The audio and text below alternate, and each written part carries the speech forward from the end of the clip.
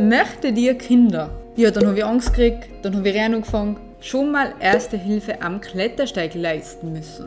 Hallo Christi und Servus zu einem neuen Video. Hallo miteinander. Wir machen heute mal ein Frage- und Antwort-Video, damit ihr sie ein bisschen besser kennenlernt. Wir haben Genau. eng Fragen gestellt auf YouTube und auf Instagram und ja, jetzt werden wir die beantworten. Genau, wir gehen die jetzt nach der Reihe durch und schauen mal, was da so dabei ist. Genau. So, dann kommen wir zur ersten Frage und zwar, bin recht neuer Follower, gerne eine kleine Vorstellung, wer ihr seid. Okay, dann fängst du mal an. Genau, also ich bin die Niki, Ich bin der Fabi, 30 Jahre. ich bin 29 und genau, wir machen eigentlich YouTube seit 2020. Genau.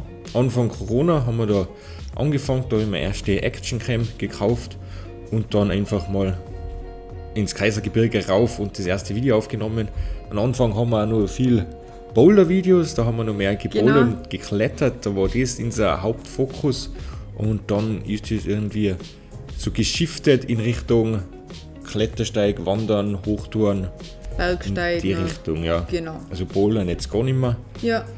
Also außer im Winter dann in der Halle. Genau, aber Videos Machen wir kann ich mehr. Genau, so viel zu uns. So, nächste Frage. Ist bei uns auch schon Schnee? Also wir haben heute das Datum 14. September.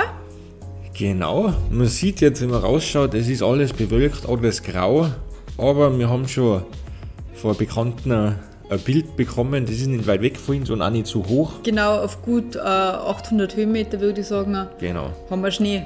Also ja, relativ früh, aber ähm, ja, wir hoffen, dass er noch weggeht, dass wir nur ein oder zwei Bergtouren gehen können.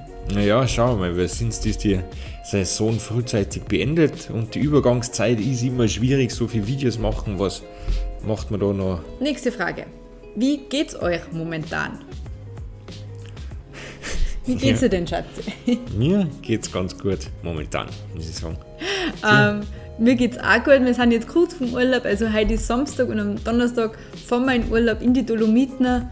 Ähm, natürlich vor dem Urlaub hat man immer ein bisschen Stress, dass man alles noch fertig da kriegt und sowas. Aber genau, im Großen und Ganzen geht es uns eigentlich ganz gut. Ja, Nächste Frage. Was macht ihr beruflich? Schöne Grüße. also beruflich bin ich im Controlling, nein, du bist im Controlling. Ich bin beruflich im Controlling. Okay, beruflich bin ich in der Qualitätssicherung zurzeit, bin aber gelernter Bautechniker, also in der Baubranche, wo ich auch jahrelang tätig. Genau. Genau, und ähm, ich bin aktuell Controllerin, habe mit Buchhaltung angefangen, jetzt arbeite ich im Controlling und ja, haben eigentlich beide mehr oder weniger einen Bürojob. Deswegen glaube ich, lieben wir es, den Bergsport, dass wir einfach ein bisschen einen Ausgleich haben zum, Zum Sitzen. zum Sitzen. Ja. Genau. Welche Klettersteige seid ihr in Südtirol bereits gegangen? In Südtirol, was sind wir da gegangen? Den Stuibenfall Klettersteig, den Hans Kammerlander Klettersteig, ich glaube, ist unser bestes Video.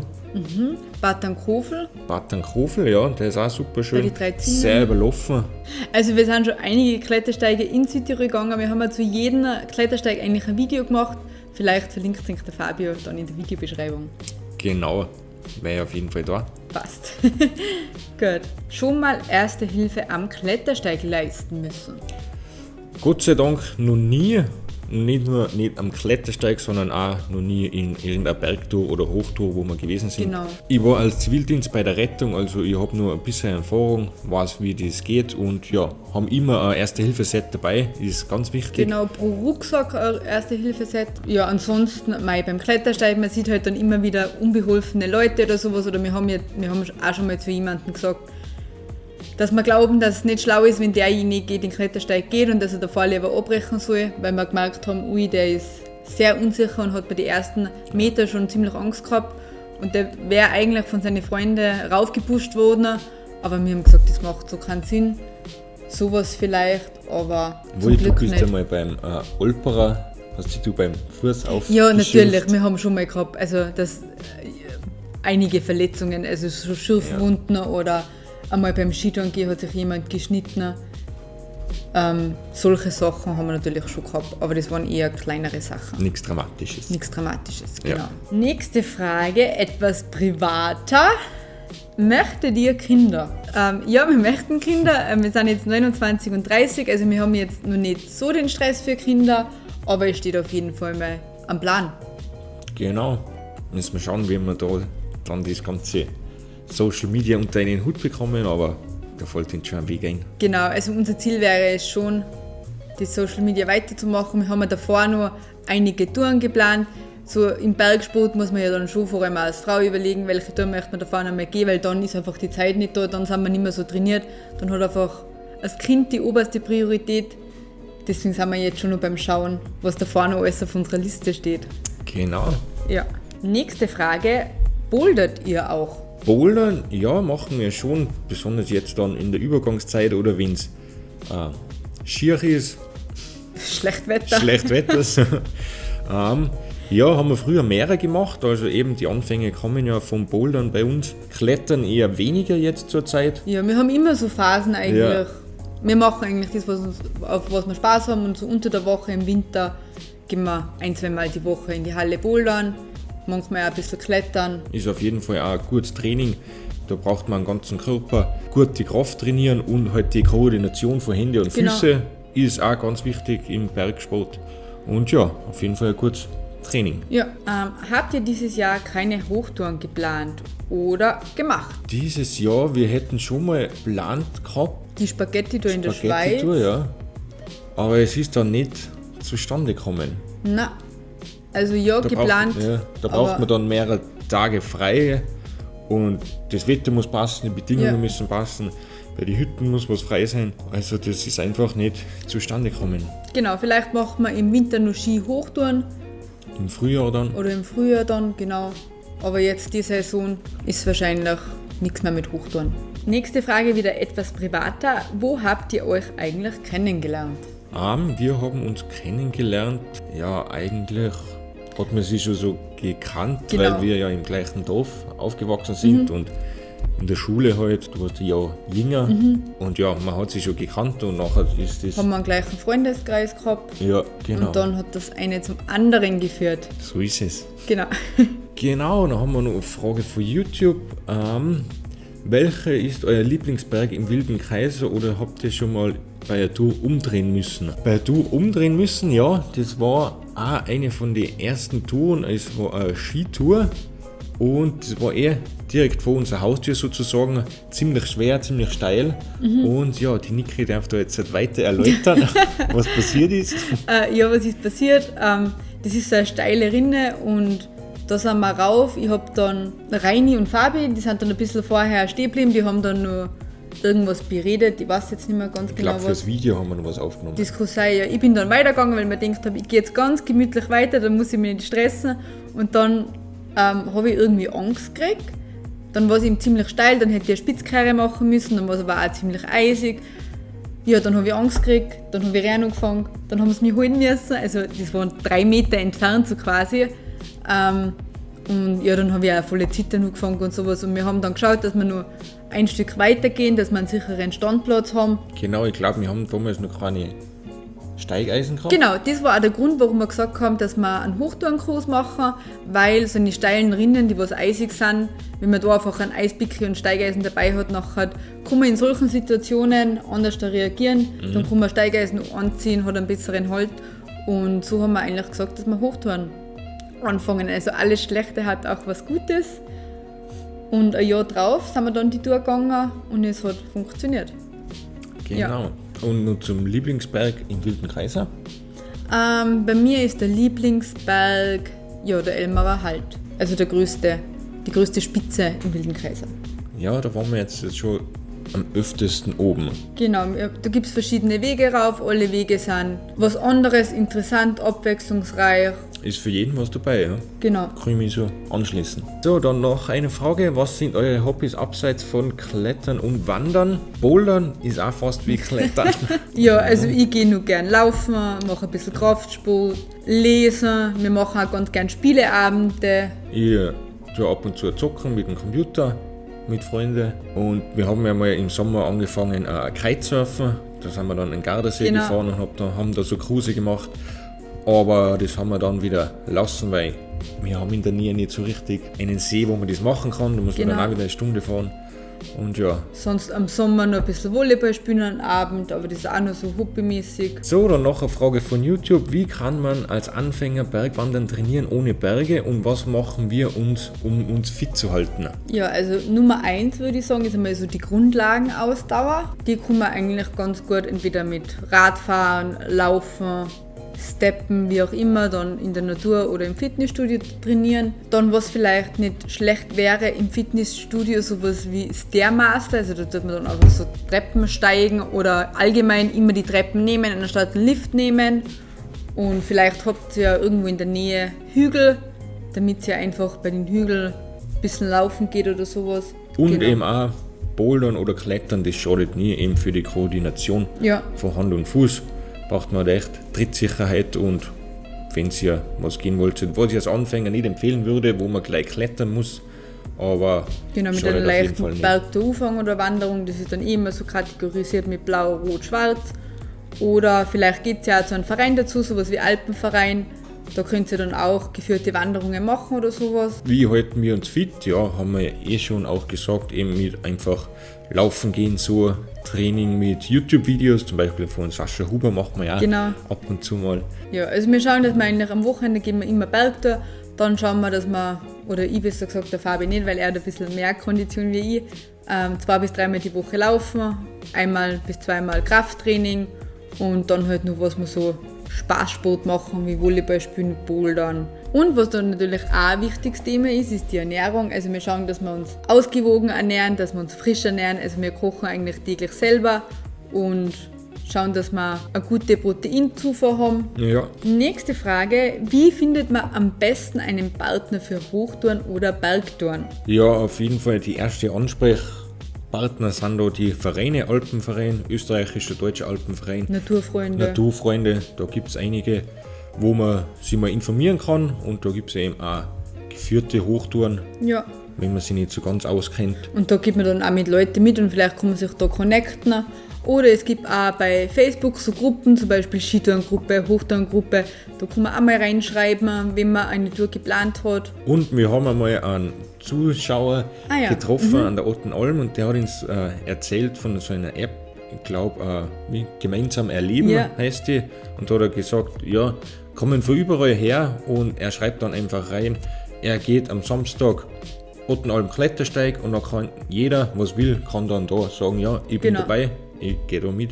Und dann waren die halt so Gruppen von zehn Leute. Ja. Und das ist vielleicht auch ein guter Die Tipp. Möglichkeit. Ja. genau. Wie sieht unsere Sportroutine aus? Ich glaube, das haben wir eh schon gesagt. Ähm, welche Gipfeltour war körperlich die anstrengendste? Körperlich anstrengendste war eigentlich der Kaisermarsch, aber das ist eigentlich nur, weil es Wettbewerb war. Wettbewerb war. Genau. Aber so, Ich glaube, ziemlich anstrengend war der Hochkönig, der Klettersteig, weil da der Abstieg Ja. auch ziemlich lang war. mhm, haben wir auch 10, 11 Stunden oder so gebraucht. Ja. Großglockner war jetzt nicht so. Großglockner war viele Höhenmeter, aber unter zwei Tage. Das war Ja. sehr ausgesetzt, man hat sich sehr konzentrieren müssen. War anstrengend, aber man war danach einfach nicht körperlich so fertig. Und was auch war, der Taubenhorn-Klettersteig, der ist auch ziemlich lang. Wir haben davor dann unseren ersten 4000 das Lagginghorn gemacht und genau darauf folgend dann den Taubenhorn-Klettersteig. Gleich in der, Früh wieder auch- auf. Ja, der war auch ziemlich anstrengend. Ja, da haben wir auch zu wenig Wasser dabei gehabt und sowas. Das war auch eine harte Tour. Habt ihr ein Haus oder eine Wohnung? Wir haben bei meinem Elternhaus haben wir uns eine Wohnung ausgebaut. Also wir haben aufgestockt, da wohnen wir jetzt drinnen. Genau. Was sind eure großen Bergziele? Also für mich wäre ein ganz großes, tolles Bergziel das Matterhorn. Wie, wann, ob wir es machen, weiß ich jetzt nicht. Da gehört schon viel Vorbereitung dazu, außer wir machen es mit einem Bergführer. Aber weil wir ja aktuell nicht so im Hochtouren-Game drinnen sind, Ja, ist auch so phasenweise, Genau. kann man dann wieder mehr auf sowas schauen. Aber ich glaube, so Mont Blanc wäre auch ein toller Gipfel. Ja, genau. Oder natürlich einmal Himalaya-Gebirge oder sowas, das wäre schon auch ein Highlight. Was sollte man als Anfänger beim Klettersteig unbedingt beachten? Als Anfänger erstens mal die Ausrüstung muss stimmen. Du musst dich wohlfühlen, du musst dich auskennen, wie du den Klettergurt anziehst, wie die äh, Karabiner funktionieren. eine Sicherheitsschlinge mitnehmen. Dann eben darauf achten, dass man immer schön einen Karabiner nach den anderen umhängt. Dass man nie ohne Sicherung ist. Genau. Dass man langsam anfängt, also fangst mit A, B an, schaut mal, wie ihr mit ausgesetzt ausgesetzten Stellen umgeht, ob ihr Höhenangst habt oder nicht. Also oft sind dann trainierte Leute vom Fitnessstudio, meinen dann, sie haben ja die Kraft und sie können den Klettersteig einfach gehen, aber es ist nochmal ganz was anderes. Also ich würde mich einfach langsam herantasten, vielleicht auch irgendwelche Kurse mit Alpenverein oder so gehen oder schon mit Leuten, die Erfahrung haben. So langsam einfach herantasten, damit man dann auch einen Spaß nicht verliert. Keine Frage, aber ich finde eure Videos und Content super. Toll, ihr seid so sympathisch. Danke dafür. Danke ja, ebenfalls. Danke.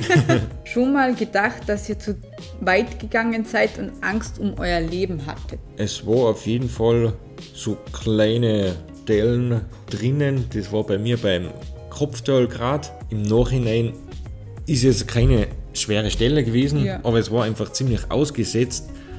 Da war schon bei mir der Spaß vorbei. Da habe ich dann genau. im Kopf schon das abgespielt gehabt. Scheiße, jetzt müssen wir die Bergrettung rufen. Aber dann ist die Nicke eingesprungen. Genau, also das ist auch immer ganz gut, dass man sich einfach auf seinen Partner verlassen kann, dass man seinen Turnpartner kennt. Ähm, ich habe ja immer mal vor allem bei so Quergängen, Kletterpassagen oder sowas Angst, dann muss mich der Fabi runterholen, so wie er runterholen müssen. Und wenn der andere dann Angst hat, dann muss einfach der andere Part ähm, der starke Part sein und der muss dann einspringen. Also in dem Fall bin dann ich Fahrstück gegangen und habe das dann einfach gemacht und dann haben wir die Stelle auch überwunden gehabt, dann ist ja. er weitergegangen. Also man muss halt dann einfach auf seinen Partner eingehen. Ruhe bewahren. Genau, dass wir zu weit gegangen sind, nein, ich würde das mir zugute rechnen. Also ich glaube halt einfach, dass wir nichts zu weit gehen, weil ich halt, also ich schaue ja auch, dass man. Ja. Oder ich Nein. drosselt unser, unsere Bergtouren eher runter. Also ich glaube, wenn jetzt nur du und der Reini unterwegs wärt, wäre es vielleicht, dass ihr eher mal was gehen würdet, was schwieriger wäre. Aber so mit Aber mir. Zu weit gehen. Nein. Nein, das haben wir jetzt halt nicht. Also natürlich eben, wir sind einmal umgekehrt oder sowas, aber wir haben nur das gemacht, was wir uns auch immer zutrauen. Natürlich habe ich auch Klettersteige gemacht mit EF, wo ich aber eigentlich weiß, ich schaffe es körperlich, aber mein Kopf setzt dann einfach in der EF-Stelle aus. Ich brauche halt dann für so eine Stelle, wo der Fabi in zwei Minuten durch ist, brauche ich halt meine 15, 20 Minuten dafür. Aber das ist jetzt nichts Gefährliches, weil ich weiß, ähm, ich schaffe es von der Kraft her. Ich muss halt dann einfach Step by Step gehen, immer wieder Pause machen, immer wieder mit mir selber reden, dass ich es schaffe. Aber generell machen wir eigentlich Leute das, wo wir uns auch sicher sind. Weil jetzt in letzter Zeit hört man immer wieder, dass Leute abstürzen Sehr, ja. und jedes Jahr überall in Klettersteige oder auf Skitouren von einer Lawine erfasst. Und ja, da schauen wir schon und rufen uns das immer wieder in den Kopf, dass das halt echt lebensgefährlich sein ja. kann und versuchen halt das Risiko zu minimieren. Wie lange wandert ihr schon? Angefangen als Kind halt noch früher mit den Eltern. Der Pubertät als Jugendlicher habe ich dann eigentlich gar nichts mehr gemacht, so bis 1920 dann eigentlich wieder so langsam angefangen. Ja, bei mir eigentlich ähnlich. Also natürlich immer ein bisschen wandern gegangen, aber dann so wirklich Richtung Bergsteigen haben wir dann eigentlich zu zweit bei 16, 17 ja. angefangen. Ja. So, dann kommen wir schon langsam zum Ende. Ähm, die letzte Frage und zwar, was kann man machen, wenn man beinahe ein Bergunglück hatte und die Angst überwinden möchte? Ja, da haben wir eh eine Expertin da sitzen, oder? Okay. ähm, ich habe auch oft Angst gehabt, ich habe oft Angst gehabt vom Klettersteig gehen. Ähm, ich habe mir ein Sprunggelenk einmal gebrochen gehabt und dann war ich auch beim Bergabgehen immer ein bisschen unsicher oder beim Skitouren gehen. Also ja, ich habe schon auch viel mit meiner Angst zum Kämpfen. Was kann ich als Tipp sagen? Also, das erste Mal sich langsam wieder herantasten, sich nicht über, überstürzen, sich nicht mit Leuten vergleichen, mit denen, was man sich nicht vergleichen kann, sich nicht in irgendwelche Situationen drängen lassen, also immer auf sich selber hören. Natürlich muss man sich schon manchmal ein bisschen überwinden, alles in einem bestimmten Rahmen halt. Also natürlich, wenn ich jetzt Angst habe, damit ich die Angst überwinde, muss ich mich auch in Situationen bringen, dass ich die Angst überwinden kann. Aber halt alles im Maß und Ziel. Vielleicht auch mit dem Partner reden, dass er, also dass der Partner einen versteht, dass man sich da nicht dann in Situationen drängen lässt oder sowas, dass man halt einfach respektvoll und rücksichtsvoll miteinander umgeht, aber einfach auf sich selber hören und langsam anfangen. Ich glaube, das ist das Wichtigste. Und halt nur das machen, was einem Spaß macht. Das war's jetzt eigentlich mit unserer Fragerunde. Wir hoffen, Ihnen hat es gefallen. Äh, Ja, wenn ihr sowas öfter sehen wollt, schreibt es gerne in die Kommentare. Genau. Also hat eigentlich ganz viel Spaß gemacht, oder? Ja, genau, ist einmal was anderes. Und auf Instagram machen wir ja öfters eine Fragerunden. Also das heißt, die haben vielleicht ein bisschen einen größeren Einblick, was unser Privatleben oder sowas betrifft. Also behind the scenes, ja. Genau, ähm, ja, genau. Wenn ihr noch weitere Fragen habt, lasst es uns auch in die Kommentare wissen. Wir haben auch einige Fragen bezüglich der Ausrüstung bekommen. Das würde jetzt aber den Rahmen ein bisschen sprengen. Wir haben ja schon einige Ausrüstungsvideos gemacht. Ja, schaut da einfach bei den Videos für die Ausrüstungen vorbei. Da haben wir eigentlich, die sind noch ziemlich aktuell. Wir wünschen euch noch einen schönen Sonntag. Genau, Und das nächste Video wird dann von den Dolomiten sein. Hoffentlich, je nachdem, ob viel Schnee liegt oder nicht. genau. Ah, und wie immer, ähm, würde uns freuen, wenn ihr den Kanal abonniert. Lasst einen Daumen nach oben da und ja, bis zum nächsten Mal. Ciao. Bis zum nächsten Mal. Servus.